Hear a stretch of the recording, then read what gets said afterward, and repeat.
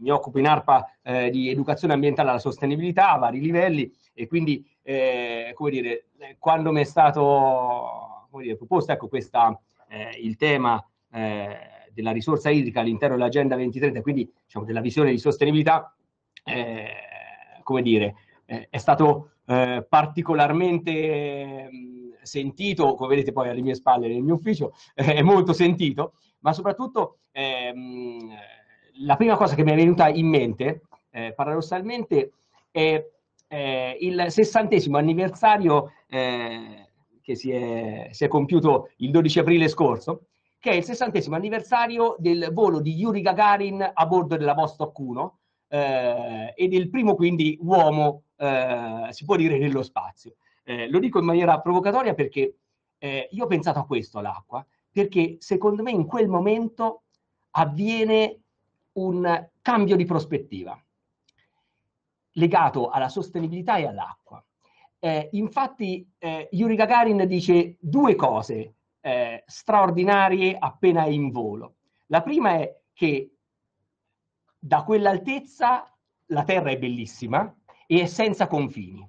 E questo ci già dà un'idea eh, di, di, un cambio di paradigma. Sono poi tra l'altro anni eh, pesantissimi di guerra fredda e di confini, ma soprattutto la cosa che, e qui entriamo nel tema dell'acqua, è che a un certo punto Yuri Gagarin dice il cielo è nerissimo, la terra è blu.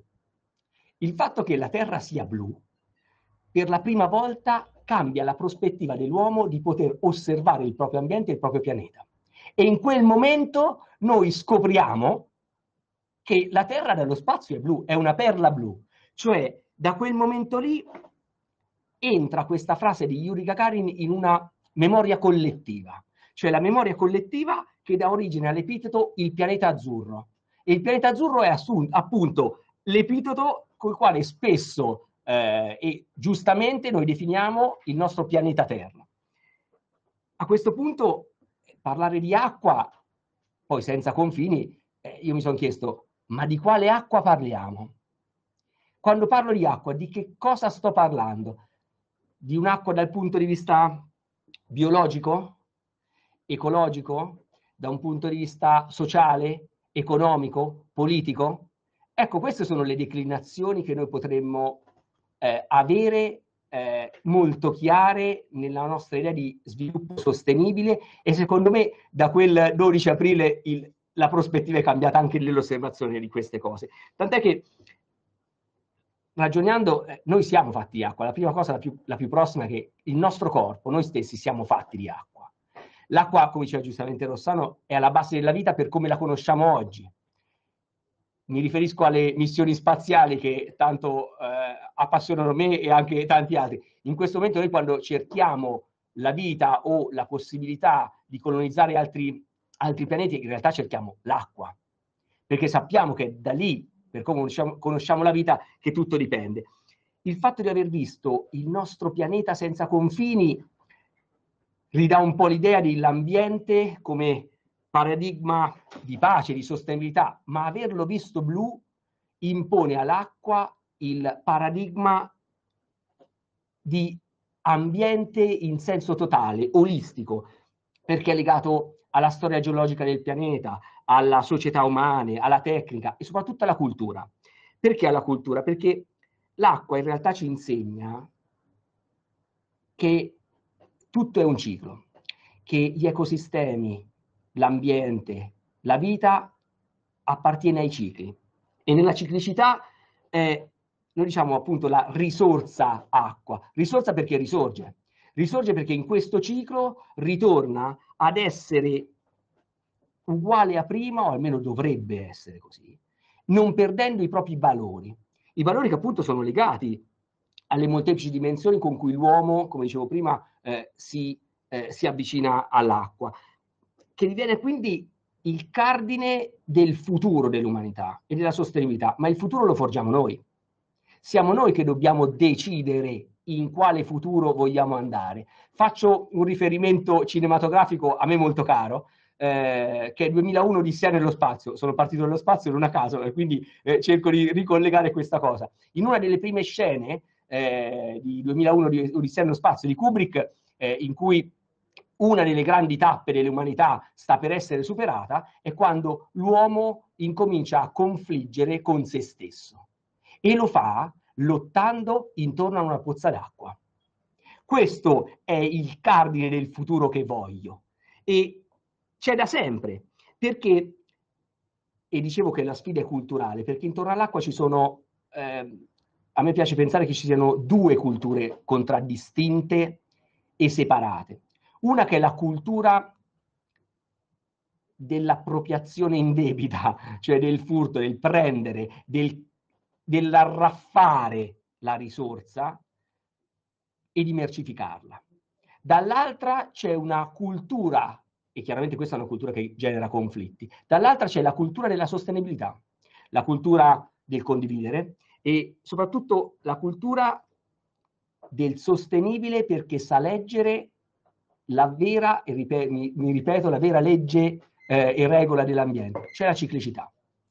Ecco, ritornando all'Agenda 2030, eh, sebbene l'Agenda 2030 eh, abbia incorporato questo, perché, eh, badate bene, è una, è vero che l'Agenda 2030 eh, per lo sviluppo sostenibile è un piano e quindi è un piano istituzionale firmato chiaramente dalle Nazioni Unite, eh, alla COP che è la conferenza delle parti dove ci sono anche le parti non governative, però chiaramente è un piano.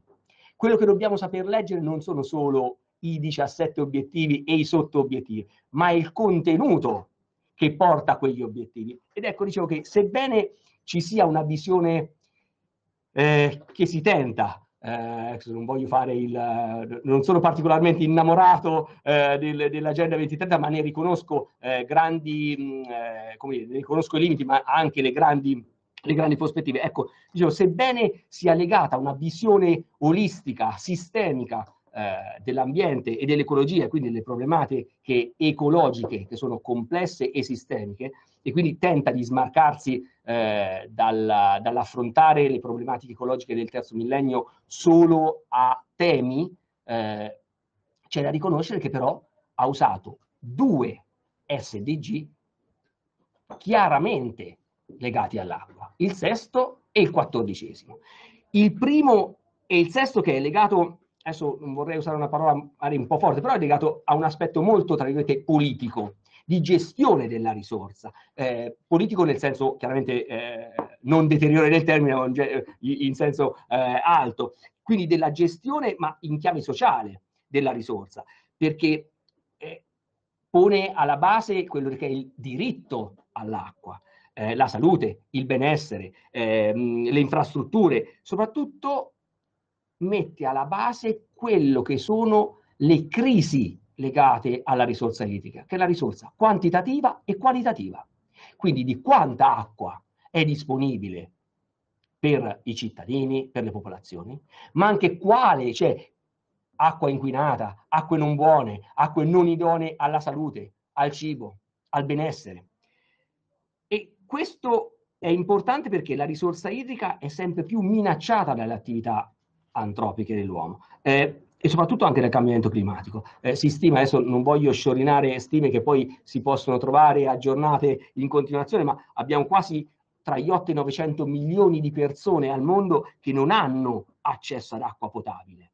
Molte delle malattie infantili sono legate alla scarsità della qualità dell'acqua dal punto di vista potabile e igienico. C'è da dire anche che assistiamo a drammatiche ecomigrazioni dovute a queste due crisi qualitative e quantitative dell'acqua, di cui come dire, non possiamo essere solo spettatori. L'altro eh, SDG, che è il quattordicesimo, si lega a quella che è la parte, potremmo dire, eh, tra l'altro è una, è una, locuzione che usano le Nazioni Unite, è quella della biosfera, cioè quella che è legata alla parte ecologica, ecosistemica eh, dell'acqua eh, in questo caso, eh, come dire, è il valore dell'acqua in senso olistico.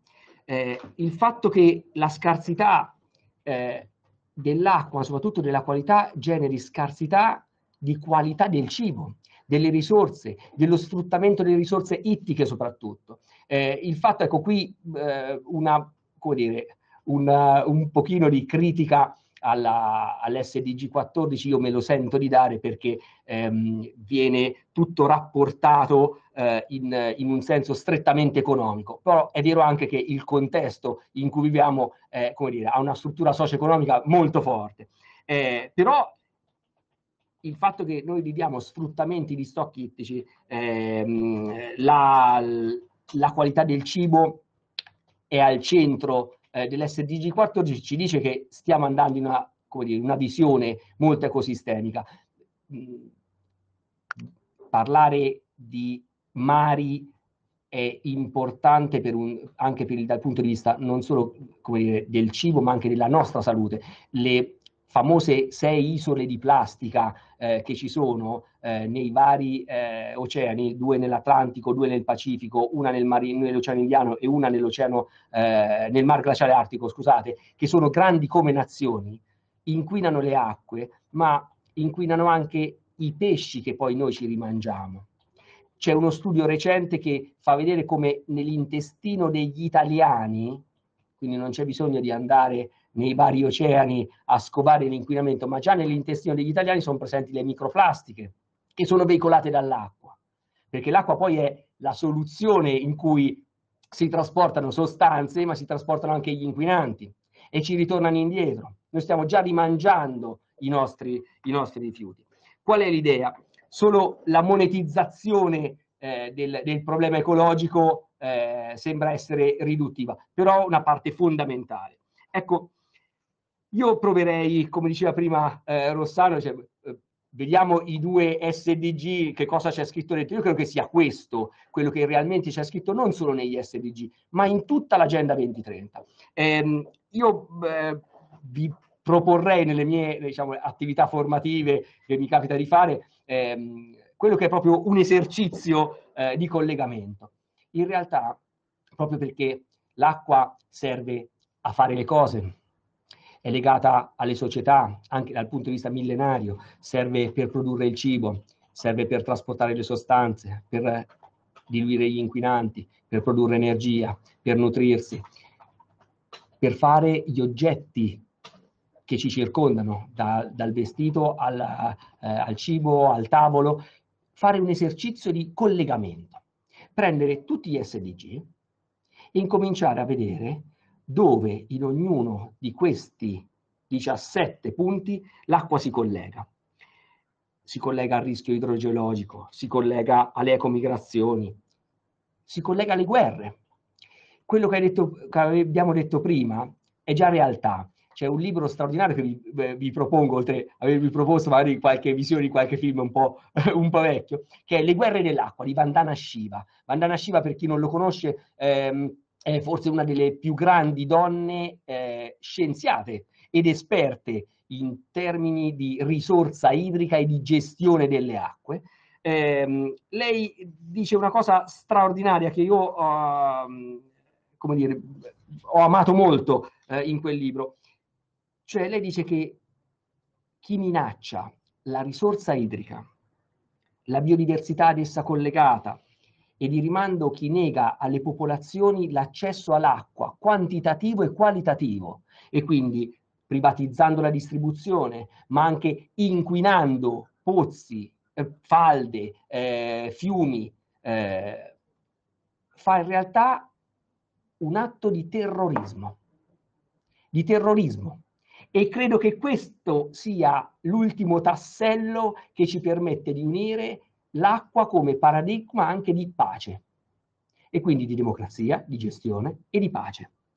Dall'1 al 17 l'acqua è declinata e questo, per questo è difficile parlare di risorsa idrica in Agenda 2030 e limitarci solo al, ai due, ai due eh, aspetti che chiaramente sono aspetti formali, è importante sapere quello che c'è scritto, ma per noi cittadini o per, eh, per noi eh, cittadini del presente che abbiamo a che fare con questo dobbiamo però renderci tutti eh, conto che è una visione sistemica. Ecco, io credo che sia, valga la pena eh, vedere in tutti gli aspetti come viene declinata all'interno dell'Agenda 2030, perché ogni aspetto ne rivendica il valore. Noi non possiamo pensare di fare uno sviluppo allo, alla sostenibilità se non mettiamo accanto alle conoscenze scientifiche, al sapere, anche un bagaglio di valori. E l'acqua ci insegna questa, perché il valore è la forza della comunità in cui si, in cui si ascrive l'acqua. Eh, è una questione, dicevo, culturale, perché la questione culturale è la consapevolezza del nostro essere umanità, di come vogliamo indirizzare il futuro. Eh, io eh, ritrovo diciamo, spesso il senso e il valore eh, di queste cose eh, nelle, dire, nella, nelle, modalità eh, in cui vengono fatte l'educazione ambientale e la sostenibilità in un concetto che secondo me è chiave del cambiamento, che è il concetto di prossimità. Cioè, noi sappiamo che l'acqua è una sostanza che, come diceva il grande Primo Levi, non ha congeneri, eh, è, è, solo simile a se stessa, però ha questo eh, di, eh, di pericoloso, è che è legata all'uomo e anche alla vita dalla consuetudine, dalla consuetudine di molteplici gesti, di molteplici usi. Questa consuetudine eh, però ci ha dato e ci ha fatto credere padroni dell'acqua, padroni della risorsa, più che di, altra, eh, più di ogni altra matrice ambientale, perché nella nostra quotidianità, ed ecco la prossimità, in ogni piccolo gesto, quello di aprire un rubinetto e richiamare a noi le acque più pulite e più buone del mondo, perché poi eh, noi che viviamo in Umbria eh, lo sappiamo benissimo, eh, in realtà ci ha dato una prerogativa eh, che però è molto pericolosa. È pericolosa perché ci svincola eh, a volte da questo senso di comunità condiviso e pare che siamo noi i padroni, ma in realtà quella, quel gesto, perché sia così semplice, eh, in realtà ha bisogno che ci sia una collettività alle spalle perché quello sia possibile. Qui, come sono stato critico nell'Agenda 2030, vorrei in realtà sostenerlo, eh, non tanto nelle sottomisure dell'SDG 6, ma accanto alle eh, sottomisure ci sono anche strumenti attuativi, ehm, indicati con il numero e la lettera. Al 6B c'è una cosa estremamente interessante, che come strumento attuativo si indica come miglioramento della gestione idrica, la, cito testualmente, la partecipazione delle comunità locali. Ecco, credo che questa sia la grandissima sfida dei valori e dei contenuti dell'Agenda 2030, quella di dire so che cosa succede, le mie conoscenze aumentano, ma la mia capacità di leggere a livello valoriale lo sviluppo sostenibile deve essere questo, quindi coinvolgere anche le comunità. Eh, chiudo, non voglio togliere eh, chiaramente spazio agli altri colleghi, però eh, ricordando questo, che ognuno di noi ha in mano un pezzo di futuro, un pezzo di decisione di come indirizzare il futuro. E mi piace eh, citare una tradizione millenaria, eh, ho citato prima Vandana Shiva, quindi eh, mi piace sottolineare la cultura millenaria dell'acqua, che è la cultura induista, indiana induista, eh, in cui si dice che ognuno nella comunità mm. ha l'obbligo e quindi il dovere, quindi è un obbligo, della responsabilità di quella che al centro della comunità è la brocca sacra dell'acqua. A me piacerebbe avere nelle nostre comunità delle brocche sac sacre dell'acqua, intorno alle quali decidere qual è la sorte del nostro futuro e credo che questo eh, potre, è, è, veramente quello che sta dentro a livello educativo e trasformativo dentro l'agenda 2030. Grazie, spero di poi se ci sono domande in merito magari eh, aspettiamo dopo.